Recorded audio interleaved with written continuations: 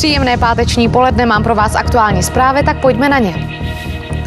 První den nastoupil do funkce, byl odvolán a další se do ní zase vrátí. Takový veletoč zažil Jan Burian, kterého dnes do čela Národního divadla vrátí ministr kultury Jiří Balvín, který ho včera odvolal. Přímo Premiér Rusnok dnes zároveň představil programové prohlášení své vlády, které chce předložit sněmovně. Na úřadu vlády je i kolegyně Silvě v Egyptě stále pokračuje vyšetřování záhadné smrti dvou českých turistek. Otec mrtvé dívenky přitom dál zůstává v hotelu, kde k tragédii došlo. My máme na... Jaký trest dostal muž, který se v baru pokusil zavraždit sekerou dalšího hosta? To se rozvíte už za okamžik, tak zůstaňte s námi.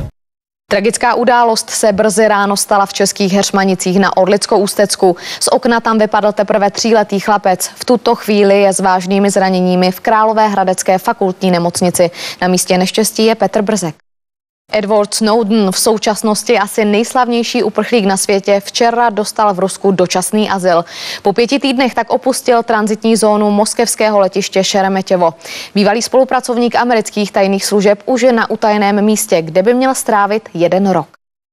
Policisté na Vysočině pátrají po šestiletém chlapci Ricardu Krokim z Havlíčkova Brodu. Toho včera odpoledne z domova odvedl nejspíš jeho 69-letý otec, občan Itálie.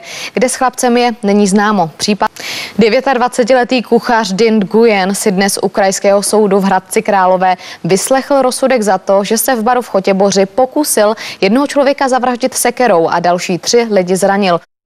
Partner zpěvačky Ivety Bartošové Josef Richtář dostal lékařskou zprávu z nemocnice v Rakousku. Co v ní je, i to se rozvíte v poledních televizních novinách.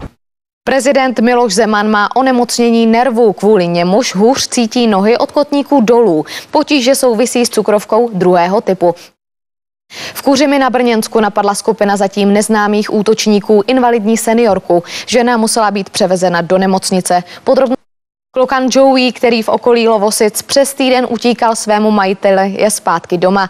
Podařilo se ho chytit až na pátý pokus. Zaběhl totiž do soukromé zahrady a tam ho veterinář uspal pomocí uspávací pistole. Mart- Josef Richtář dostal z Vídně lékařskou zprávu z prohlídky Ivety Bartošové. Ta podle něj vylučuje jakékoliv krvácení do mozku nebo zlomeniny, které podle Zdeňka Macury měli rakouští lékaři na těle zpěvačky najít. S tímto dokumentem se ráno Richtář vydal na kriminální policii policii. Česká obchodní inspekce zveřejnila výsledky svých kontrol za první pololetí roku 2013. Obrovské množství chyb tentokrát zjistila zejména u prodejců ojetých aut. Ti stále ve velkém přetáčují tachometry. Žena z Hořovic vybrala téměř 2 miliony korun z bankovního účtu, který patřil jejímu známému. Přístup získala od něj a po jeho smrti chtěla naspořené peníze zneužít. Přišlo se na to při vypořádávání dědictví. Tropická vedra lákají do bazénu davy lidí a to nejenom v Česku, ale po celém světě.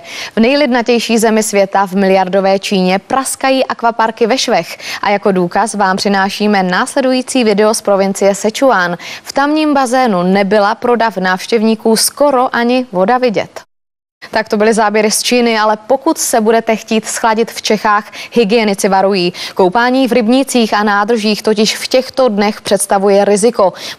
A na řadě už jsou sportovní noviny s Petrem Suchoněm. Uvidíme se u odpoledních televizních novin. Zatím na viděnou.